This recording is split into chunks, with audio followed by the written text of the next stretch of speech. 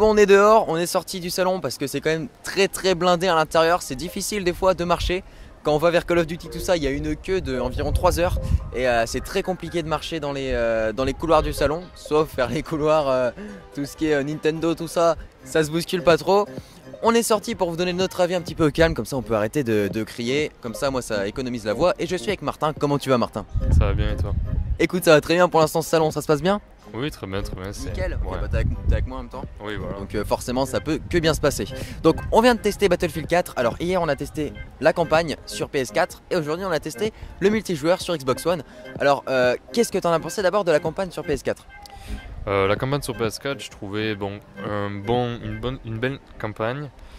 Euh, par la suite, un, un très beau jeu. Euh, niveau graphisme, ouais. De très beaux graphismes. euh, le gameplay est vraiment. Alors c'est vrai que on a pu tester une petite partie de la mission, on a quand même joué 5-10 minutes environ. Et c'est vrai qu'au niveau des graphismes, c'était assez impressionnant. Euh, on est arrivé là-dessus. Sur PS4, c'était magnifique. La manette, pour y venir juste, euh, juste un petit peu, la manette est vraiment très très agréable. Euh, après, est-ce que tu as vu vraiment, toi qui as joué au précédent Battlefield, en l'occurrence Battlefield 3, est-ce que tu as vu des améliorations? Oui, beaucoup d'améliorations. Bon, toujours au niveau graphisme, bien sûr. Oui. Mais aussi euh, dans le gameplay, euh, ben, plus d'action, le réalisme des personnages. euh, vraiment une structuration des personnages vraiment très bien faite. Et euh, après, la, mise, euh, l'interface de jeu a été aussi revue et qui est aussi très très belle. C'est vrai qu'on perd pas trop nos repères, c'est quand même sensiblement la même chose.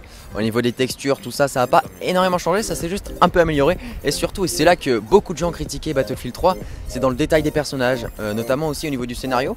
Beaucoup de gens critiquaient le fait qu'on soit pas assez proche des personnages. Ubisoft, Electronic Arts, pardon, a décidé vraiment d'améliorer ce point-là.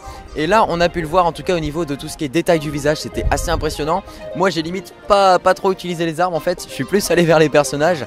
J'ai regardé un petit peu tout ce qui est texture, tout ça, et c'est vraiment bluffant. Et ensuite, on a joué sur PS4 et en même temps sur Xbox One. Est-ce que tu as vu une différence de graphisme entre les deux? Euh, sur la Xbox One, j'ai remarqué que c'était semblable à, un- à des graphismes d'un d'un très bon ordinateur PC, donc fixe. Euh, si par exemple on a une très bonne carte, euh, carte graphique chez soi, ou enfin bon, si on a un très bon PC, donc haut de gamme, euh, on peut arriver à des graphismes euh, et une qualité de jeu semblable à la Xbox One. C'est vrai que c'était assez impressionnant ça. Vraiment, c'est ce qu'on a retenu parce que ça nous a vraiment bluffé, autant sur PS4 que sur Xbox One. Euh, mais moi, quand même, j'ai trouvé qu'il y avait une petite différence entre la PS4 et la One. J'ai trouvé que sur PS4 c'était plus beau. Alors après, ça, ça vaut pas pour tous les jeux. Peut-être qu'il n'y a pas vraiment de différence. Euh, après, peut-être que sur certains points, la One est mieux, sur d'autres, la PS4. Mais visiblement, comme ça, à chaud, j'ai trouvé que la PS4 c'était quand même plus beau. Donc voilà, moi j'ai préféré jouer sur PS4. Après, on a testé le multijoueur donc sur Xbox One. Est-ce que tu as vu des améliorations au niveau euh, des armes qu'on pouvait choisir, au niveau de la mise en place de la partie? Euh, les classes restent les mêmes. Ouais. J'ai remarqué que les classes restaient les mêmes. Après, niveau euh, personnalification des, euh, des armes, je n'ai pas euh, réellement regardé. J'ai joué des classes prédéfinies. Euh, par la suite, euh, bon, l'interface de jeu a aussi changé.